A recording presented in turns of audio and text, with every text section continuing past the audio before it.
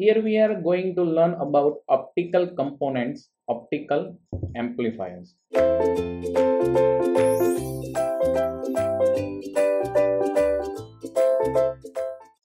Optical amplifier is a device used in an optical communication system to directly amplify or boost optical data signal without changing its electrical form. Optical integrity of the whole system is retained. An optical amplifier is a device amplifying optical signal directly without the need to first convert into an electrical signal. So an optical amplifier may be thought of a laser without an optical cavity or one in which feedback from the cavity is suppressed. Optical amplifier are important in optical communications and laser physics.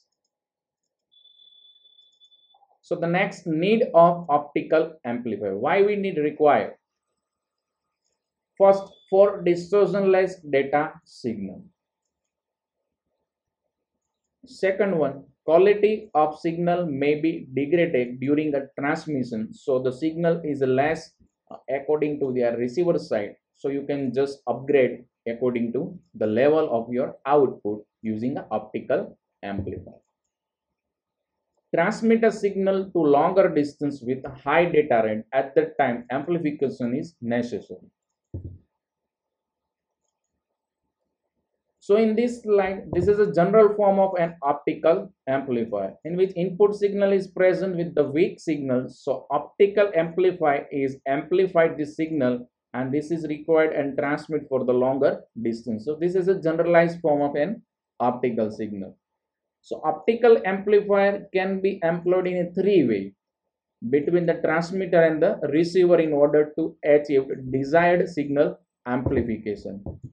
So a booster or power amplifier. So it requires a booster or power amplifier.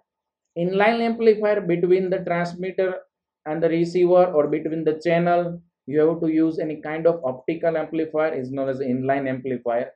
And third one is a pre-amplifier. Before boosting a signal or before transmit, uh, amplification is required to boost the signal. So is known as a pre-amplifier. So all the case as a power amplifier inline amplifier and pre-amplifier, it is usually placed at the receiving end of the system. The transmitted signal must be of such level that it can be easily detected by the receiver. So the next classification of optical amplifier. So first SOA, semiconductor optical amplifier. So the semiconductor optical amplifier, it is abbreviated SOA and it is active medium is composed of alloys of semiconductor from group 3 and 4.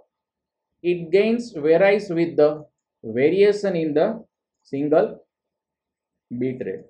So in the case of semiconductor optical amplifier are amplifier which use a semiconductor to provide the gain medium and the semiconductor optical amplifier SOA is a small size and electrically pumped.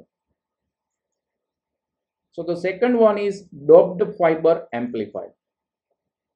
So it is denoted by DFA and the active medium is formed by lightly doping silica core with the rare earth element.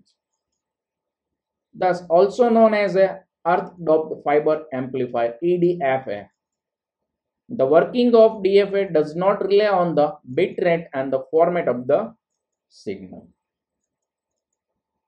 Third one is Raman amplifier or Raman optical amplifier.